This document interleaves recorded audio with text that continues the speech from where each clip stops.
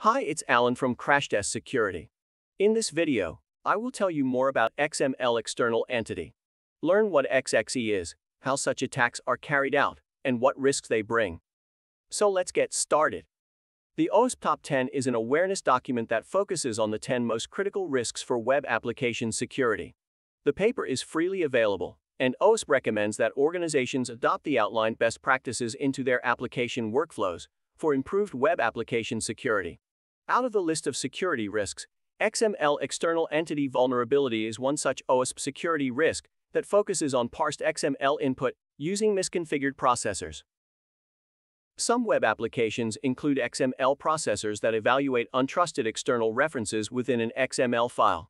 These references enable attackers to use external parameter entities to disclose various configuration file information, which the attackers then use to exploit the system further. Since these attacks occur through parsing XML inputs in an application, attackers can leverage it to access other integrated systems, leading to application unavailability and loss of sensitive data. It is therefore prudent to understand the nature of these attacks and how they can be prevented. External entity profiles are defined by outside sources, such as a file on a local computer or a web URL. Such entities ensure that the XML processor behaves consistently, even when unexpected characters are parsed. External entities have various legitimate use cases. Calling an XML document hosted locally to be used in another XML document. Dividing documents into smaller, logical units.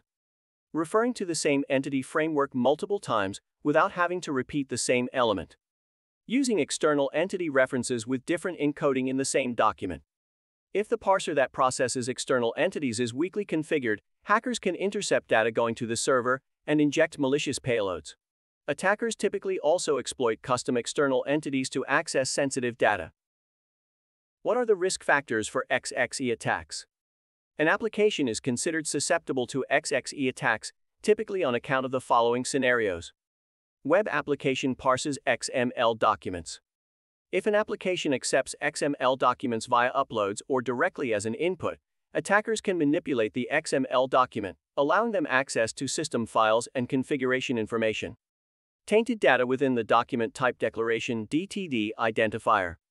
If DTD processing is enabled within the XML parser, attackers can orchestrate the billion laughs attack, a type of denial of service attack based on using recursive entities.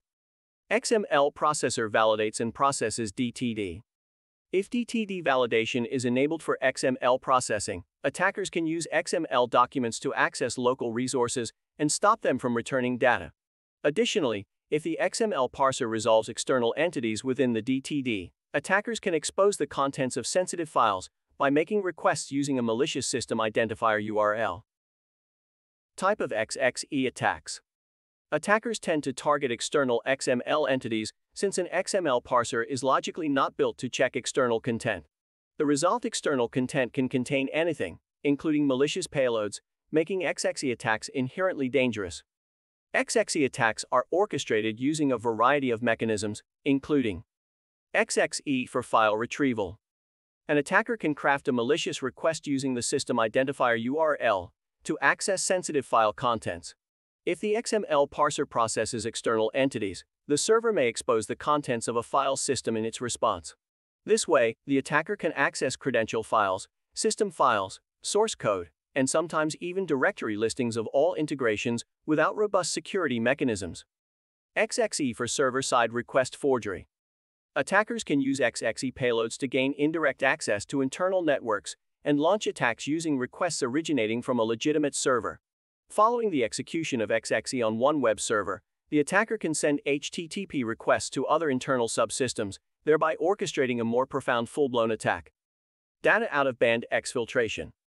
Out-of-band, also called blind XXE attacks, don't rely on an immediate response from the server.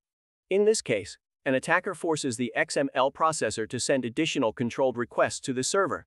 The server is then exploited to read the file's contents intercepted during the attack. Data retrieval via error messages. Attackers can trigger an XML parsing error, whose message contains the sensitive information they are looking for. This approach only works if the server returns the complete error message within its response. Try CrashTest Security today to discover how it integrates into your development stack for efficient, automated vulnerability scanning. The trial is free. Also, subscribe to the CrashTest Security channel to get more information about the most significant web security threats, their prevention, and how to use the CrashTest Security Suite. Thank you for watching, and see you in our next video.